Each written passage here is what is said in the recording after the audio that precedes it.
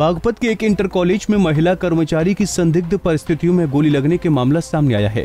मामला रमाला थाना क्षेत्र के आदर्श शिक्षा मंदिर इंटर कॉलेज का है, जहाँ गोली चलने की घटना उस वक्त हुई जब कॉलेज प्रबंधक की स्टाफ के साथ मीटिंग चल रही थी। इसी दौरान कॉलेज प्रबंधक की लाइसेंसी रिवॉल्वर से संदिग्ध परिस्थितियों में गोली चल गई। गोली वहाँ पर खड़ी कॉलेज की क्लर्क दृष्टि चौहान, पुत्री नरेश चौहान निवासी रमाला के पेट में जा लगी। रिवाल्वर से अचानक गोली चलने से कॉलेज में हड़कंप मच गया। आनंद फानन में युवती को बड़ौद के एक निजी अस्पताल में भर्ती कराया गया, जहाँ उसका इलाज किया जा रहा है।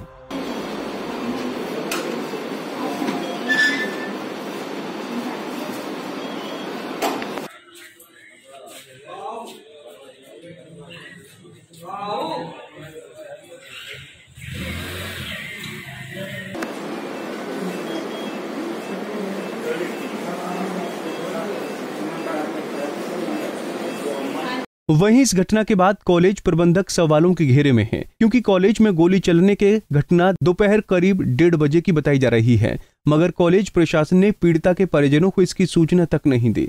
परिजनों को इसकी जानकारी पुलिस से मिली जिसके चलते परिजन कॉलेज प्रशासन पर सवाल खड़े कर रहे हैं। घटना गोली चली स्कूल में? जी। लड़की का लगी अच्छा। अब ये पता नहीं इनने मारी? अब कैसे लगी? अभी सुबह स्कूल बताता नहीं कैसे लगी? अच्छा। हमें ने समय पर जानकारी भी नहीं दी। अच्छा। पाँच बजे हम एस ने फ़ोन करा। अच्छा। भाई यहाँ ये घटना होगी। जबकि डेढ़ बजे घटना है डेढ़ बजे ही घटना है। जी।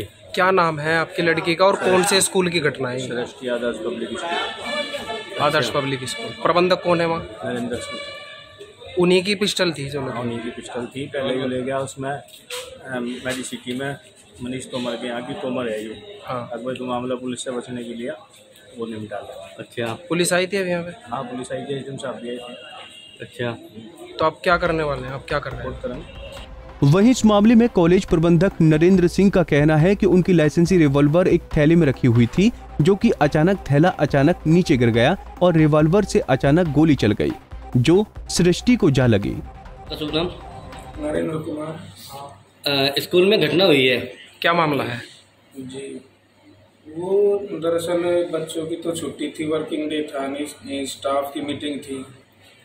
डेढ़ बजे के करीब, जो है मीटिंग एकदम जैसे ख़त्म हुई तो सब अपने घर के लिए तैयार होकर चले। लेकिन मेरे पीछे हाथ के पास में मेरा एक स्टूल रखे रहता है, उस पर मेरा बैग रखा था। ये, कलर्क है, काम करती है मेरा लड़की, ये तो उसने वो सामान समेटने के लिए सामान उठाया से स्टूल पर से। वो स्टूल पर से बैग रखा था मेरा नीचे गिर गया नीचे गिर गया गन से गोली चली गई अपने आप ही। आपकी- आपकी गन थी? आपकी गन थी मेरी थी लाइसेंस ही गन। ऐसे कैसे चल गई सर फिर गोली? भाई तो ईश्वरी जाने कैसे चल गई? क्या नाम है कि जिसको गोली लगी? सृष्टि चौहान। सृष्टि चौहान। कहाँ की रहने वाली है? आदर्श शिक्षा मंदिर इंटर कॉलेज बराल के प्रबंधक नरेंद्र सिंह का खुद का कहना है, रिवॉल्वर लॉक थी और जिस समय थैला नीचे गिरा, गोली अचानक स्वयं चल गई। ये एक बड़ा सवाल है कि रिवॉल्वर लॉक होने के बाद गोली कैसे चल सकती है?